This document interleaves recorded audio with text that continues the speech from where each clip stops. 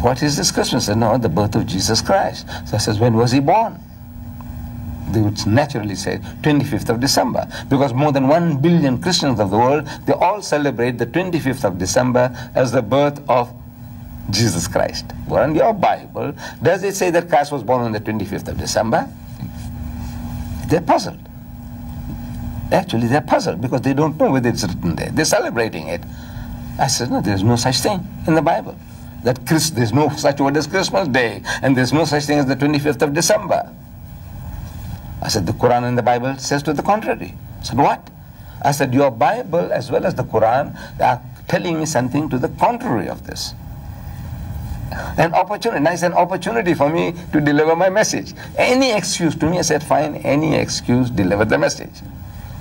I said, you see, when Jesus was born, according to the Gospel of St. Luke, mm-hmm. chapter 2, verse 8, mm-hmm. it tells us that at night the angels came and they found shepherds out in the field and the shepherds were told that the child is born to a woman in Bethlehem.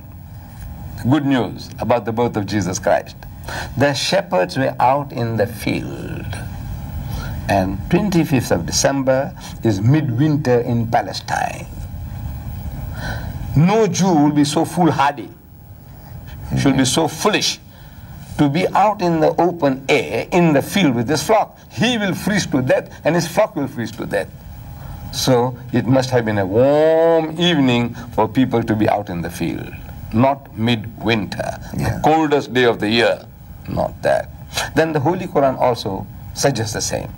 In Surah Maryam, ayah number 25, it tells us that when the child was being born, a voice was heard, an angel of the Lord, telling her, he says, look, the date palm, you are under the date palm, he says, shake the palm leaf and it will let fall fresh ripe date. So fresh ripe date, I think the Arabs, you don't have to prove to the Arabs, you know that you need midsummer to produce ripe dates. For to be so ripe as if you shake it and it let fall the dates. So it was midsummer, says the Quran, and the Bible suggests also midsummer. But you are celebrating midwinter. Where did you get this?